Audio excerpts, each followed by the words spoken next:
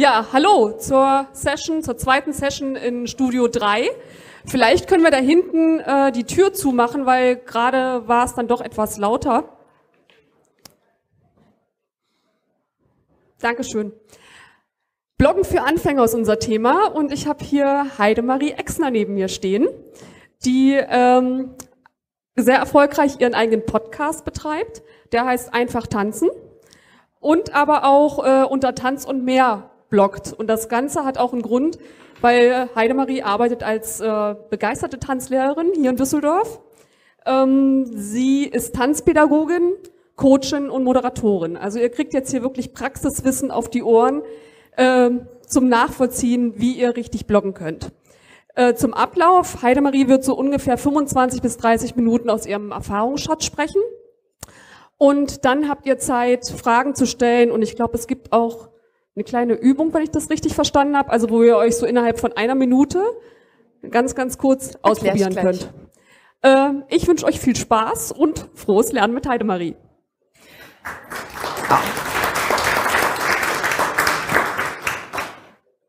Herzlich willkommen. Ich äh, bedanke mich ganz sehr für die Einladung und freue mich heute mit euch über das Thema Bloggen zu sprechen. Manche sagen, ja, das Bloggen ist tot. Ich sage, es lebe der Blog. Und ich möchte mit euch heute vor, hauptsächlich als Bloggerin sprechen, darüber, wie du dir einen schicken Fachblog aufbauen kannst, der dich selber, deine Leser und auch deine Kunden sowie deine Arbeit befruchtet, sage ich mal, und dir gefällt. Ich möchte mit euch, so wie das gerade schon gesagt wurde, das ganz locker angehen. Ich bin kein Technikmensch, ich habe einen Laptop sogar dabei, aber ich begrenze mich immer aufs Wesentliche, um jetzt nicht euch eine schicke Präsentation zu bieten, sondern das, was ein Blogger macht, er übt und äh, hält sich nicht mit irgendwelchen Sachen auf, die, die einen wirklich wegbringen vom Schreiben.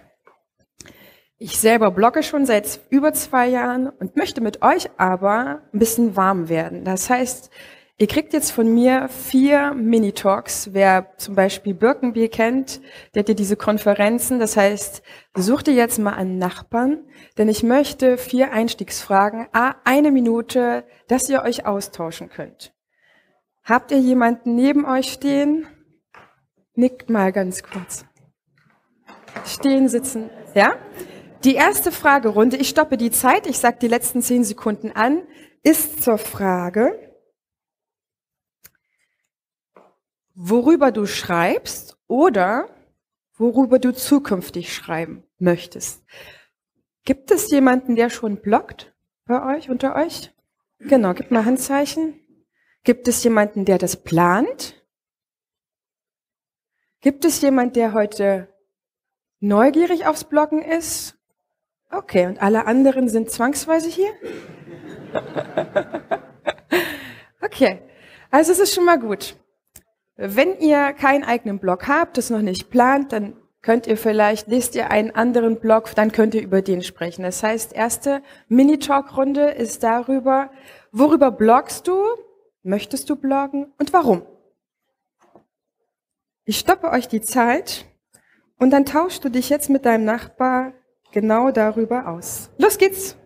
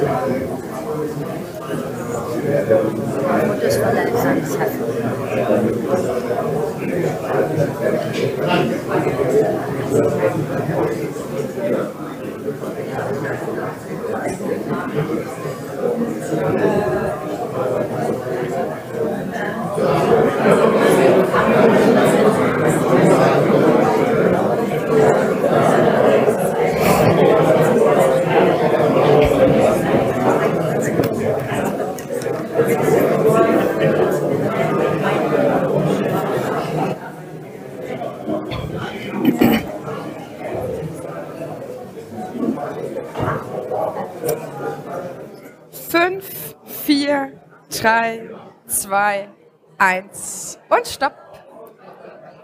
Vielen Dank. Die zweite Runde, ihr Lieben, das ist total genial. ihr kommt ins Schwatzen. Egal wie weit ihr gekommen seid, ihr dürft aufhören. Ihr braucht nicht wechseln. Bleibt mal bei eurem Partner. Hallo.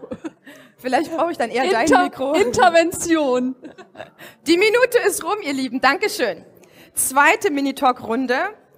Bitte an die Minute halten. Man kann viel sprechen. Ihr sollt einfach nur ein bisschen darüber ähm, ins Nachdenken kommen oder euch anstoßen. Die zweite Frage, beziehungsweise ich stelle euch drei Thesen vor, die so ein bisschen zum Bloggen kursieren, um euch dort ein bisschen zu aktivieren, ist zum Thema SEO.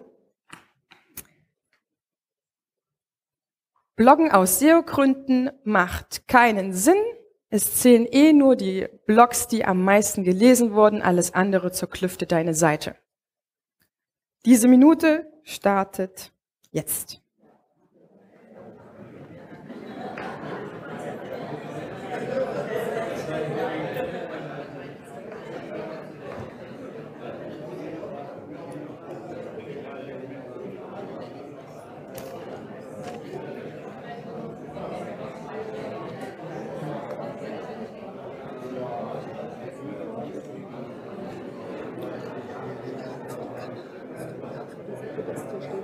Okay, schade.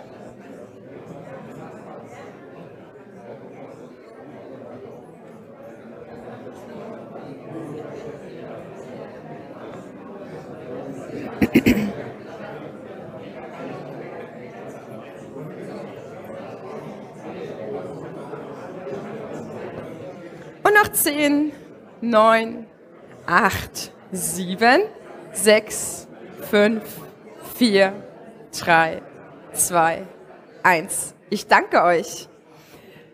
Die nächste Runde, wir werden alles im Laufe unseres Talks auflösen und darauf eingehen. Ihr merkt, ich, ich tickere euch erstmal ein bisschen an, um in diese, in diese Thematik reinzukommen. Das, der nächste, die nächste These. Ich sage, ich, ihr sollt zustimmen oder nicht zustimmen. Vielleicht habt ihr auch mehr Erfahrungen als ich. Bin ich mir da sicher, dass, äh, dass es einige gibt. Die nächste These ist, die Arbeitszeit zum Bloggen ist unverhältnismäßig zu dem, was es eigentlich bringt. Unsere Minute startet jetzt.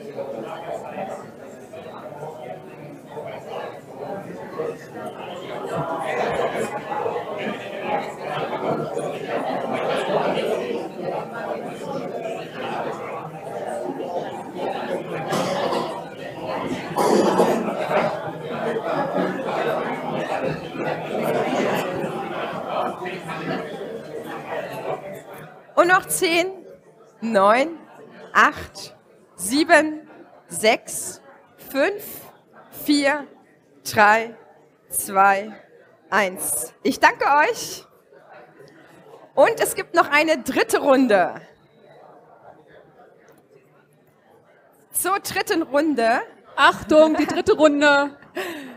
Es ist wirklich eines der Hauptthemen, die einen beschäftigt, wenn man äh, anfangen möchte zu bloggen oder schon bloggt oder ein Tief hat. Vielleicht gibt es ja auch jemand, habe ich gar nicht gefragt, der gebloggt hat, aber gerade keine Inspiration hat ne, oder es zu anstrengend findet.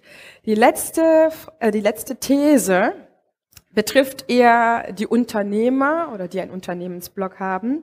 Bloggen als Unternehmen und aus reine Werbung bringt nichts, denn der Tiefgang fehlt. Unsere Minute startet jetzt.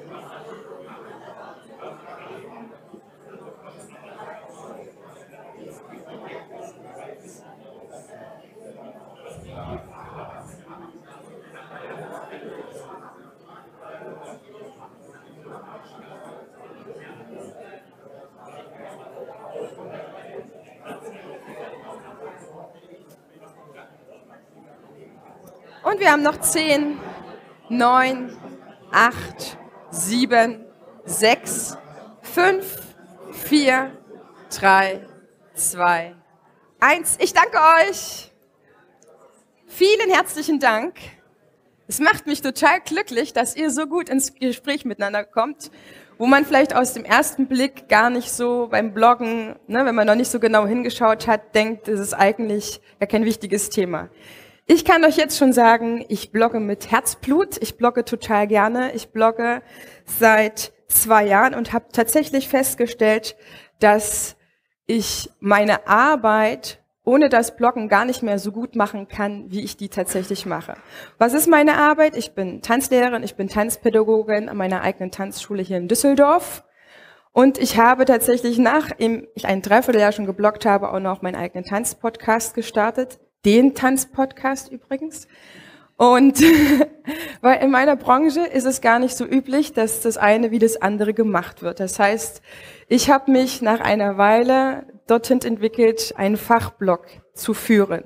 Das ist meines Erachtens das, was tatsächlich noch, und jetzt komme ich wieder zum Es lebe der Content, etwas für einen selber und für die Leserschaft bringt, egal wer das ist. Ich würde euch ganz kurz nur abreißen, wie ich selber zum Blog gekommen bin. Es war damals tatsächlich Notwehr. Ich habe meine Tanzschule geplant und habe überlegt, und ich hatte damals noch eine Seite, da wird eine andere oder wahrscheinlich jetzt ein bisschen gruselig werden, die war ein absolutes Steinzeittier. Die war zehn Jahre alt. Und ich habe die so ein bisschen rosa gemacht und dachte mir, mein Gott, jetzt starte ich bald eine Tanzschule. Also ich habe ein Jahr im Voraus geplant. Ich muss ja irgendetwas machen, damit dann meine Seite irgendwo erscheint. Weil das Problem hat ja jeder, wenn er starten möchte, deine Seite verschwindet erstmal auf irgendwo. Also dachte ich mir, okay, äh, aus SEO-Gründen werde ich also jetzt irgendwas Nettes schreiben, das täglich mit meinen Freunden teilen und ich äh, schreibe die Hälfte von dem Artikel auf äh, Facebook, veröffentliche das und dann hier klicken, um weiterzulesen. So habe ich das gemacht. Das hat auch ganz gut funktioniert und dann habe ich, glaube ich, zwei Monate später meine neue Seite bekommen und dann wusste ich auch, dass mit dieser neuen Seite das definitiv besser funktioniert, weil man heutzutage eine neue Seite braucht und nicht mehr so ein äh, Fossil, was ich hatte. Ich habe zuerst meine Weisheit des Tages geschrieben. Ein Vierteljahr habe ich jeden Tag ungefähr hm, zwischen einer Drittel und einer halben Seite mir eines von diesen, ich weiß nicht, inwieweit ihr damit vertraut seid, aber heutzutage meinen die ein oder anderen doch immer irgendwelche schöne Sprüche zu posten. Und ich habe mir selber, ob es vom Indianer war oder was auch immer, von meinem Achtsamkeitsspruchkalender hergenommen und habe tatsächlich dazu geschrieben, weil ich konnte nicht schreiben. Klar, ich war Deutsch-Leistungskurs, aber das war schon ein bisschen her. Und darüber zu schreiben, worüber ich selber, also was empfunden habe, was mich irgendwie angetickert habe, da habe ich einfach losgelegt. Das habe ich ein Vierteljahr gemacht. Jeden Tag habe ich geschrieben. Aber ich habe das tatsächlich nicht äh, jeden Tag gemacht, sondern ich habe mich zwei, drei Stunden in der Woche hingesetzt und das hintereinander weggeschrieben. Das hatte den Vorteil, dass ich im Schreibfluss war. Das hatte den Vorteil, dass ich in diesen Themen war, was mir gerade so Spaß gemacht hatte. Und ich hatte ein bisschen Zeit, in mich zu gehen, wo geht es in Resonanz, wie man so heute schön sagt, äh, zu den ein oder anderen Sprüchen. Ne? Ich habe mir ganz bewusst auch die Sprüche ausgesucht, die mir was gesagt haben. Das heißt, Kalender weitergeblättert, wenn mir das nichts gebracht hat. Das heißt, nach diesem Vierteljahr war ich ein bisschen sicherer geworden. Das ist für mich schon mal Tipp eins für euch. Habt Mut zu schreiben. Es entwickelt sich. Niemand kommt auf die Welt. Ich schwöre, ich habe einen fast Dreijährigen zu Hause. Niemand kommt auf die Welt und kann schreiben. Sie haben alle angefangen zu schreiben. Ich empfehle dir, schreib erst mal für dich etwas auf. Mutig ist es natürlich, wenn du das gleich veröffentlichst ne, und das auf deine Seite stellst oder bei Facebook. Aber um bloggen zu können, egal in welchem Stil, musst du anfangen. Und das macht wirklich Freude, wenn du etwas hast, worauf du Bock hast, worauf du Lust hast. Nach diesem Vierteljahr habe ich gemerkt, okay, Schreibfluss also ein bisschen hergestellt, ich finde meine Worte und ich habe bestimmt nicht fachlich geschrieben. Und ich habe auch nicht ganze Sätze manchmal geschrieben, ich habe einfach geschrieben, wie ich selber Lust drauf hatte.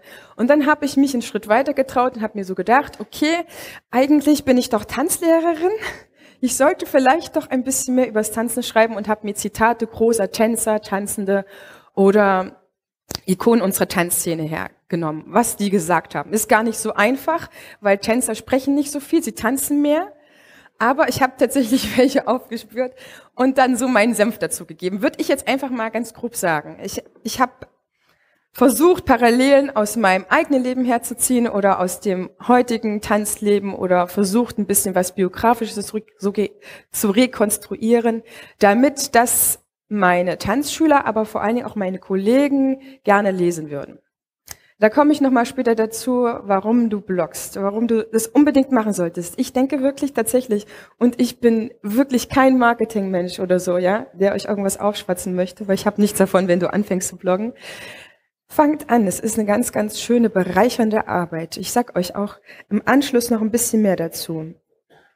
Nach diesem weiteren Vierteljahr, wo ich die Zitate mir hergenommen hatte, war ich soweit. Meine Tanzschule ging los und ich hatte jetzt tatsächlich ein paar relevante Fragen, die meine Kundschaft hatte. Ich sage immer trotzdem gerne Kunden, weil ein, eine Dienstleistung ist irgendwo trotzdem ein Produkt, auch wenn man das äh, in einer anderen Weise nutzt als äh, ein Gegenstand zum Beispiel. Und die hatten Fragen und ich merkte, okay, nach dem fünften Mal erklären, mich hinstellen und dem das sagen, habe ich erstens die Hälfte vergessen von dem, was ich dem Vorgehenden gesagt habe.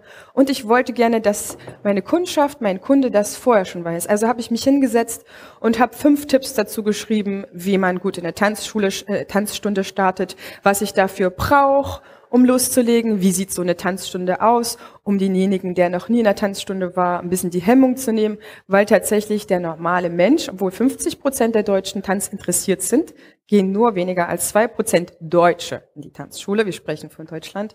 Also ein bisschen die Hürde zu nehmen und dann Willkommens-E-Mail. Ach hier, klick da, wenn ich dir noch da ein bisschen helfen kann, wenn du das noch wissen willst. Und so musste ich manche Sachen einfach nicht nochmal erklären. Das heißt, für mich hatte es da erstmal den Sinn, für den Kunden etwas zu bieten, wo der schon mal etwas bekommt und merkt, ah, die versteht mich.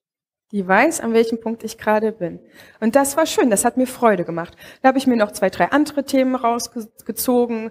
Ähm, Hochzeitssaison war, ne, wie, wie kannst du dich auf den Hochzeitstanz selber vorbereiten? Tatsächlich schreibe ich auch Sachen, wie es der Kunde selber hinbekommt, weil ungefähr 95 Prozent der Menschen können es trotzdem nicht, obwohl du das genau schreibst wie, ja. Das heißt, du hast noch jemanden glücklich gemacht und die fünf Prozent, die das können, die haben auch tatsächlich nicht unbedingt was in der Tanzschule verloren, ne? Weil wenn die das hinkriegen und ähm, es ist einfach, es ist, es ist einfach etwas zu schreiben, wo der, der, der es liest, merkt, dass du das drauf hast. Das fand ich cool.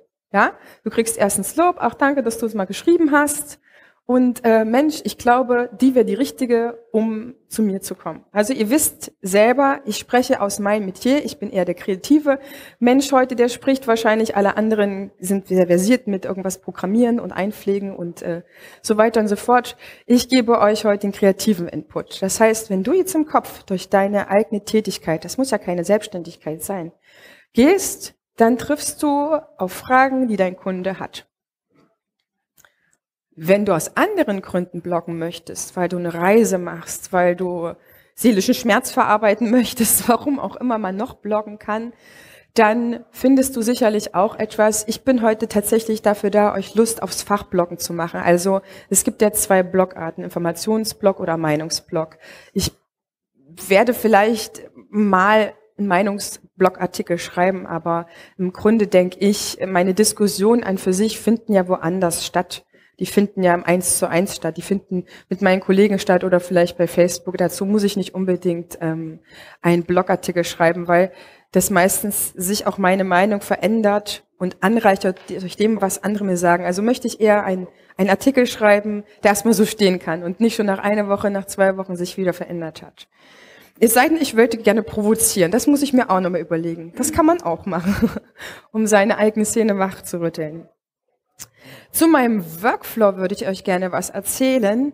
Ich bin tatsächlich ein bisschen vielleicht gezwungen dadurch, dass ich äh, den Kleinen habe, ähm, zu der Weise gekommen, dass ich für verschiedene Themen mir eher mehrere Stunden blogge. Das heißt, mein Arbeitsalltag, ich mache ja hauptsächlich entweder vormittags meine, meine Organisation oder sehr spät abends, äh, ist für mich auch gar nicht schlimm. Ich blogge auch noch nachts um eins, um zwei. Aber da muss jeder seine eigene Stunde finden, wann das gut geht. Ich reserviere mir lieber ein paar Stunden am Stück und komme in Flow. Ich schreibe immer an mehreren Blogartikeln gleichzeitig, weil ich so mega viele Ideen habe. Ich kann wirklich mein Leben lang bloggen, weil es so viel da ist. Also mache ich mir ein, eine Notiz, meine Kladde, die hier. Ich habe eine Kladde, die ist sonst leer. Diese ist jetzt halt schon ziemlich voll. Die hat leere Seiten. Die habe ich eigentlich immer mit mir. Die ist jetzt schon ein Jahr alt. Da kommen nur bestimmte Sachen rein, unter anderem äh, meine Blogthemen. Und dann setze ich mich hin und mache mir für jeden Blogartikel ein Word-Dokument auf und speichere mir die so separat auf. Das heißt, ich weiß immer ungefähr, was für Blogartikel gerade so im Werden sind. Dann mache ich mir das Word-Dokument dazu auf, wenn ich so meine kreative Schreibphase oder Stunde habe und schreibe dazu etwas weiteres. Ich schreibe nur dann, wenn ich wirklich Lust dazu habe. Das heißt, es gibt Tage,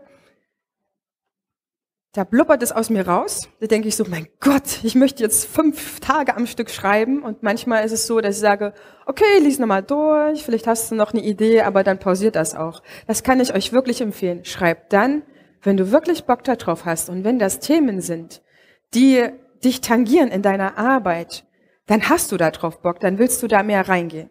Das ist so das, was ich euch wirklich ans Herz legen kann. Es ist eine schöne Arbeit. Es ist eine richtig schöne Arbeit. Wenn ich äh, einen Blogartikel fertig habe oder zwei, drei nebeneinander, dann gucke ich trotzdem genau, weil da bin ich äh, zu sehr Tanzschulunternehmerin, ob das auch gerade gut in den Kontext passt, was für meine Tanzschule oder mein kleines Unternehmen sinnvoll ist. Wenn ich zum Beispiel angeschrieben werde, ah, hier ist eine neue herausgekommene Tanz-CD äh, mit Musik für Kinder, würden Sie darüber bloggen, dann sage ich, oh, das passt ganz gut. Ich schreibe gerade einen Blogartikel, was äh, gute Kindertanzmusik ausmacht. Ich höre mir es an. Wenn ich es gut finde, nehme ich es gerne mit auf. Und dann bekomme ich noch ein extra, das war tatsächlich auch das erste Mal, fand ich aber sehr geil. Ich habe noch ein weiteres Exemplar bekommen und kann das jetzt verlosen. Wenn ich meinen Blogartikel äh, online setze, ich, ver ich veröffentliche den bei Facebook, ich veröffentliche den auch bei Instagram und dann eben auf meiner Seite. Und ich habe sehr wahrscheinlich nicht so einen Blog, wie ihr ihn kennt, den man mit RRS abonnieren kann, wo man noch kommentieren kann. Da bin ich auch noch äh, rückständig. Aber ich habe so einen guten, äh, so eine gute Rückmeldungsquote auf ähm, Facebook oder per E-Mails, per PN, äh, dass mir das eigentlich reicht. Also wenn jemand dazu eine Frage hat, nehmt die, lieber jemanden, der das auch tatsächlich sich äh, ähm, äh, installiert hat. Anders ist es bei meinem äh, Podcast, der ist abonnierbar. Ja? Also schaut gerne in meinen Blog rein, um eine, eine Idee zu bekommen, auf was ich alles aufmerksam werde, was es alles sein könnte. Ich komme gleich mit euch noch zu ein paar äh, Blog-Tipps oder, oder was ihr machen könnt, um selber eure eigenen Themen zu finden, weil das ist das Schönste. Das heißt, wenn ich jetzt ähm, Angenommen, diesen äh, Musikartikel, den habe ich fertig, den habe ich aber tatsächlich noch nicht geblockt, habe aber demnächst eine Kinderdisco. Dann bewerbe ich meine Kinderdisco und stimme das natürlich in der Woche auch mit Kindermusik ab, weil das macht total Sinn. Ja, wenn ich jetzt einen Disco-Fox-Kurs bewerben würde und dann Kindermusik in einer Woche habe, da schaue ich schon danach. Das heißt, ich stresse mich auch nicht, wenn ihr jetzt fragt, wie oft ich blocke. Ich würde gerne einmal die Woche blocken. Da hätte ich total Lust drauf. Manchmal werde ich krank, mit meinem Kind krank, ist in der Tanzschule gerade Anmeldewoche und dann habe ich mit anderen Dingen zu tun. Entweder habe ich einen Blogartikel schon in petto, was sehr, sehr, sehr äh, gut ist und meistens auch klappt, aber wenn ich an einem Blogartikel länger schreibe, was ich mir gönne, ich lasse mir Zeit dafür, ich stresse mich nicht, aber wenn du im Schreibfluss gekommen bist, dann ist das nicht mehr dieses Ding. Dann schreibst du und schreibst du und denkst so, oh, krass, jetzt ist er fertig. Ja, jetzt kann das Ding auch raus. Aber mach nicht deinen Blogartikel fertig und hau ihn sofort raus. Guck ganz kurz, vielleicht eine Nacht drüber schlafen, wann passt es auch tatsächlich, weil du hast viel Arbeit reingesteckt. Und diese Arbeit muss trotzdem klug positioniert werden. Ja? Weil ein Fachblog bedeutet aus meiner Sicht, dass du Arbeit reingesteckt hast, dass du jetzt eine Bombe, eine kleine Bombe an Wissen hast und die solltest du gut einsetzen. Das heißt, heute habe ich natürlich noch äh, den Grund des SEO. Übrigens hat das sehr, sehr gut funktioniert mit meinen Blogartikeln. Ähm, meine, mein Ziel war, unter den zehn, ersten zehn bei Google, wenn du Tanzen Düsseldorf, Tanzschule Düsseldorf eingehst, zu kommen, und zwar in sehr, sehr kurzer Zeit, weil ich wusste, mit einer kleineren Tanzschule wird man mich sonst nicht finden. Ich habe es tatsächlich unter die ersten drei geschafft. Also aus SEO würde ich, und wir können uns im Anschluss super gerne austauschen, würde ich bloggen, aber mach keinen Laberblog draus. Das ist für mich ein Meinungsblog, ist für mich ein Laberblog. Es sei denn, du bist irgendein Professor, der irgendeine, ne, wie so das, der aller, allererste Blogmensch überhaupt gemacht hat, das glaub, war so um 1990 und der hat einfach die fachliche Diskussion in seinem, damals war das noch kein Blog offiziell, aber der hat fachliche Diskussion beigetragen. Dann macht das auch. Dann macht es total Sinn, wenn man etwas Neues auf deiner Seite erfährt. Aber wenn du zu irgendwas nur das wiederkäust oder wiedergibst, was andere machst, jetzt werde ich, ja, jetzt wisst ihr, warum ich das sage, dann bringt das aus meiner Sicht nicht. Ihr wollt doch, dass der Blog gelesen wird. Und der Blog wird hauptsächlich von Kollegen gelesen, im besten Falle, tatsächlich um ernst genommen zu werden und von deinen Kunden. Vielleicht aus Liebe auch mal von deinen Freunden, aber tatsächlich die, die es interessiert, denen, denen es etwas bringt, das zu lesen. Aus SEO-Grund habe ich trotzdem weiter geblockt, weil ich wollte, dass wenn einer deutschlandweit irgendein Problem eingibt, erste Tanzstunde, was mache ich? Ich wollte, dass der auf meinen Artikel kommt. Ich wollte überhaupt nicht, dass vorrangig meine eigenen Kunden das lesen, sondern ich wollte deutschlandweit die Klicks haben. Denn das ist das, was meiner Seite auch geholfen hat. Viele andere Dinge, das wäre ein anderer Vortrag, was du tun kannst, damit deine Seite äh, nach oben ploppt, damit die wichtig ist. Ich weiß auf jeden Fall, Bloggen hilft schon dadurch, dass du öfter an deiner Seite bastelst und äh, ihr könnt mir gerne widersprechen, aber soweit ich das von meinem Webmaster gelernt habe, Google liebt anscheinend Seiten, die sich immer wieder aktualisieren und äh, das äh, ist etwas, worum es hilft. Jetzt komme ich aber zu den Gründen, die sich in der Zeit entwickelt haben. Ich habe angefangen, mehr hinzuhören. Und das ist, das ist jetzt so die Sachen, wie ich zu meinen Themen komme. Ich höre viel genauer hin, wenn es irgendein klitzekleines, scheinbar klitzekleines Problemchen gibt unter meiner Kundschaft, aber auch Themen, die meine Kollegen bewegen. Das sind so die zwei Dinge, die ich, äh, aus denen ich meinen Blog nähere. Und da merkst du schon, für wen mein Blog ist. Er ist für eine Nische. Aber ich möchte derjenige sein, der zuerst darüber schreibt. Ja? Über den man mehr auf meinem Blog erfährt. Das ist so ein bisschen mein Ehrgeiz. Und ich habe das Glück, wahrscheinlich sind hier noch genügend, die sagen, ja, aber Heidemarie, bei mir gibt es schon 10.000, die über das schreiben, was ich jetzt so tue. Da kommen wir noch danach dazu. Fragt mich dann, wenn das so konkret ist, nochmal dazu. Aber ich möchte der Erste sein, der drüber bloggt. Und ich möchte tatsächlich auch, dass sich ein Kollege, wenn der anfängt zu bloggen, darauf bezieht. Oder ich gefragt werde für einen Fachartikel. Bei mir in der Szene wird gebloggt, aber eher weniger, weil der Tänzer, der Tanzende erachtet das eigentlich noch nicht so als sinnvoll. Wir haben das noch nicht unbedingt als Marketing-Tool entdeckt, was es dennoch ist oder sein sollte. Dankeschön. Und ähm, von daher gesehen habe ich vielleicht mehr Vorteil in diesem, dieser kleinen Szene, in dieser Welt, als jetzt in anderer. Das heißt, ich schaue viel gründlicher hin, was beschäftigt vielleicht meinen Kunden. Und das, was ich mache, ist auch die kleinen Themen wahrzunehmen. Ich war neulich in einer anderen Tanzschule und habe dort eine Vertretungsstunde gehalten. Das ist für mich eigentlich kein Problem. Ich helfe gerne aus und mache das öfter.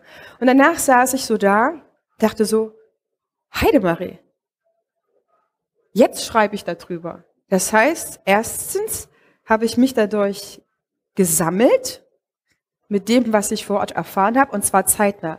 Das mache ich eigentlich binnen von 24 Stunden direkt, wenn ich so ein Thema habe, was ich groß mache. Hab mich gesammelt, hab das strukturiert, nämlich so aufgebaut, dass ein Kollege damit sofort eine geile Vertretungsstunde machen kann. So bin ich. Ich verdiene damit kein Geld. Noch nicht. Es gibt noch Varianten, wie ich äh, meinen Blog auch monetarisieren kann. Und das ist nicht, indem du Werbung schaltest. Ihr könnt mich gerne dazu später noch fragen in unserer Fragerunde, dann verrate ich euch das eine oder andere, äh, was ich aber selber noch nicht gestartet habe. Das heißt, ich möchte mich dadurch, dass ich Sachen anspreche, die andere auch erleben, aber noch nicht so durchdacht haben, ein bisschen äh, auffallen und tatsächlich auch helfen.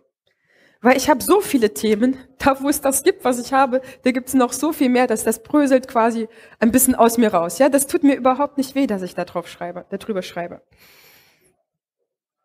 Jetzt würde ich gerne mit euch ganz kurz den Mini-Talk auswerten. Was denkt ihr denn? Ich habe schon ein bisschen angedeutet. Ist das Bloggen für SEO gut oder nicht so gut?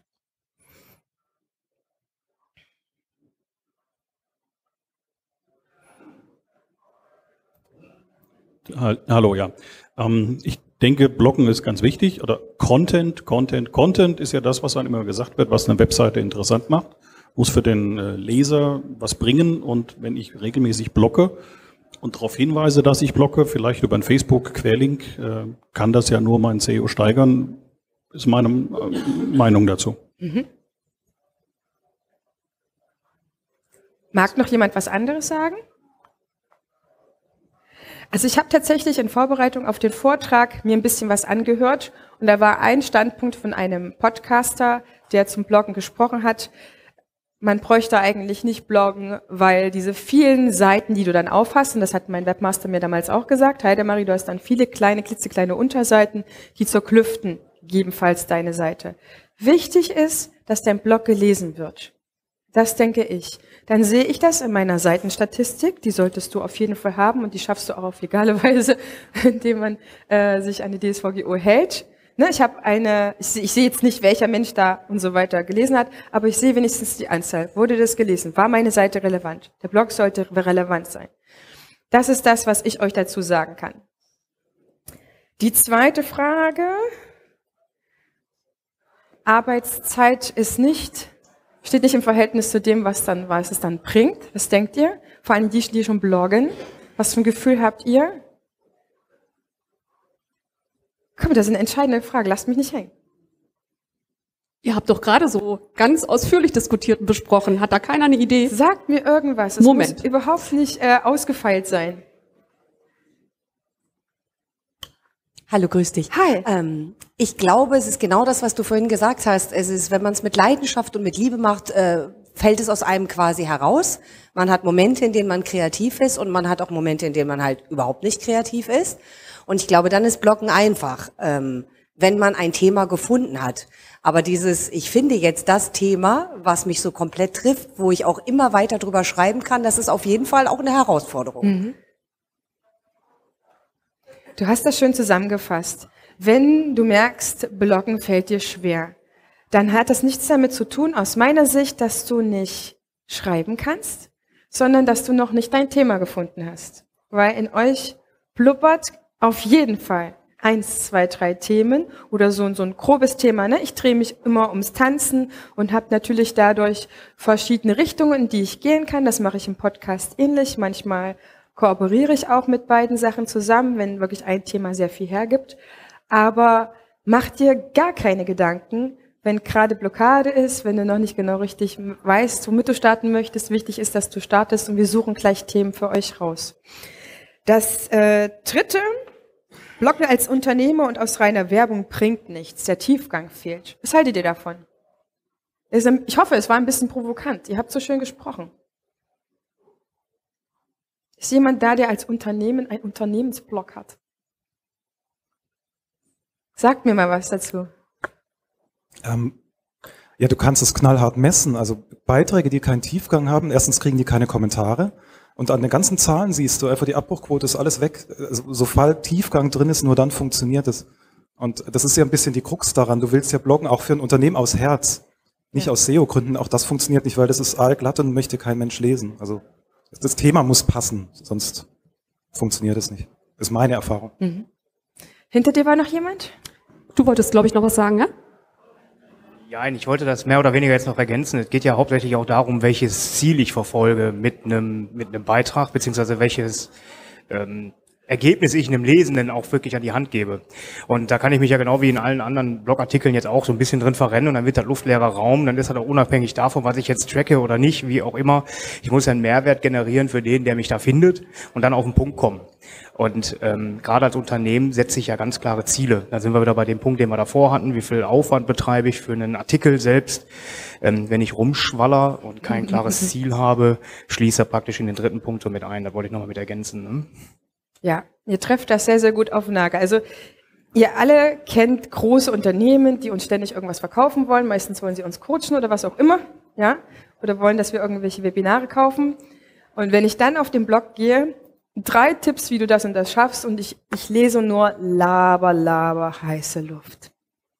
Da, haben, da guck ich, klicke ich noch ein zweites und vielleicht noch ein drittes Mal, weil ich von der Expertise überzeugt bin. Und wenn nur so ein Blub drin steht, wo ich so denke, ja, da war jetzt nichts Neues dabei, dann ist der für mich abgeschrieben. Tatsächlich. Das heißt, als Unternehmen, ich habe ein Unternehmen, ich habe ein kleines Unternehmen, aber das muss zu dir passen, das muss zu deinem Unternehmen passen und blogge wirklich dann, wenn du was zu sagen hast. Und vielleicht muss das auch gar nicht so das Neue sein, aber vielleicht bist du der oder diejenige, die darüber zum ersten Mal schreibt, die das beschreibt, wo jemand, der es liest, sagt, cool, endlich Schreibt's mal jemand auf, ja? Ich habe schon ein bisschen drüber nachgedacht. Ich bin jetzt nicht der Erste darüber, ähm, sich Gedanken gemacht hat, sondern gibt's schon jemanden und äh, vielleicht auch qualifizierte Sprache gefunden hat dafür.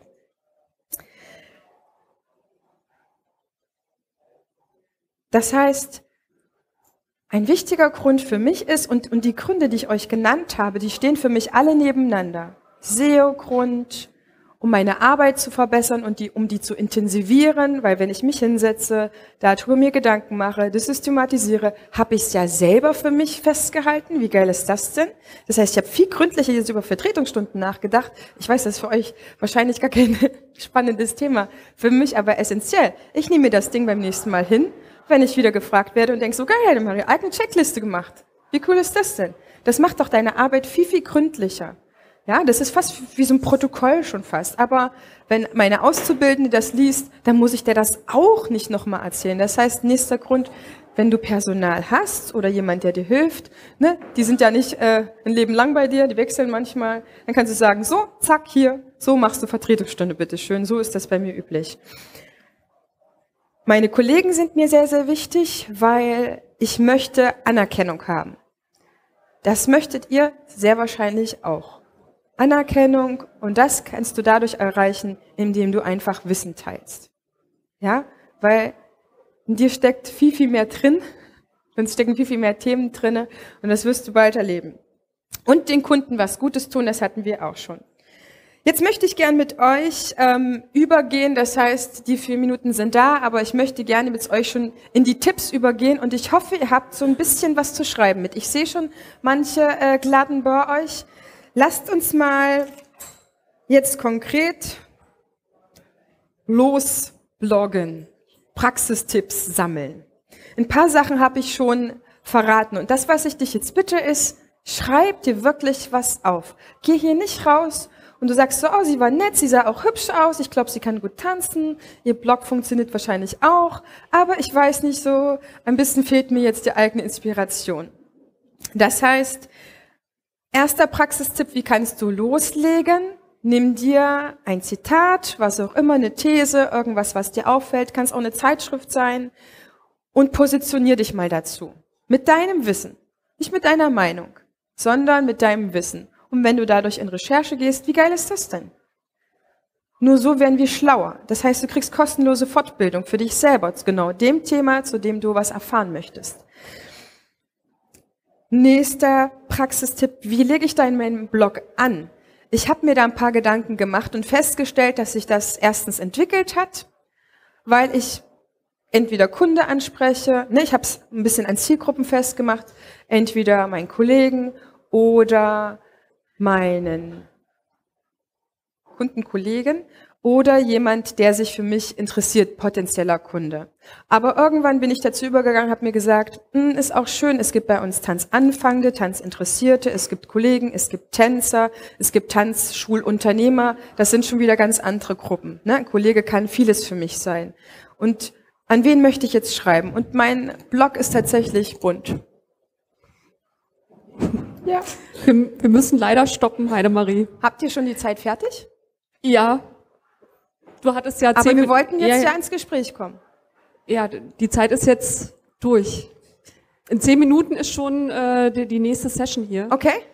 Dann Ähm. lasst mich noch drei Sachen sagen, damit ich jetzt nicht Kurz. ohne Ideen nach Hause gehen. Konkret geht auf Facebook, geht in eure Gruppen, wo eure Kunden sind.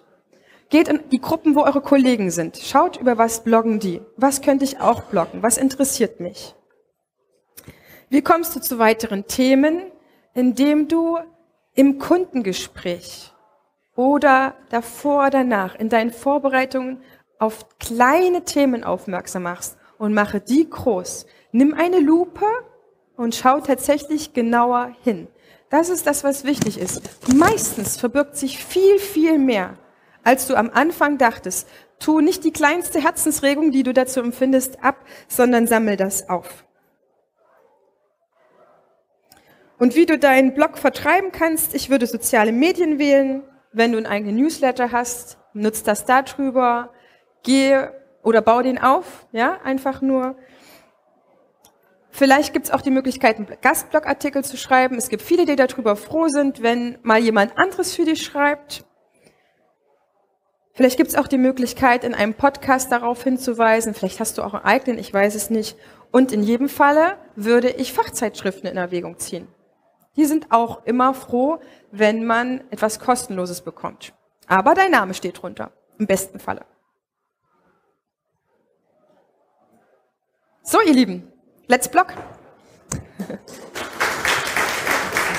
Dankeschön. Ja, ähm, wir haben jetzt leider keine Zeit gehabt für so eine kurze Fragen-Antworten-Runde. Weil ihr später Aber- angefangen habt, ne? Das Ja, auf unsere Kosten toll. Nee, nee, nee, nee, nee. Moment. Die Zeit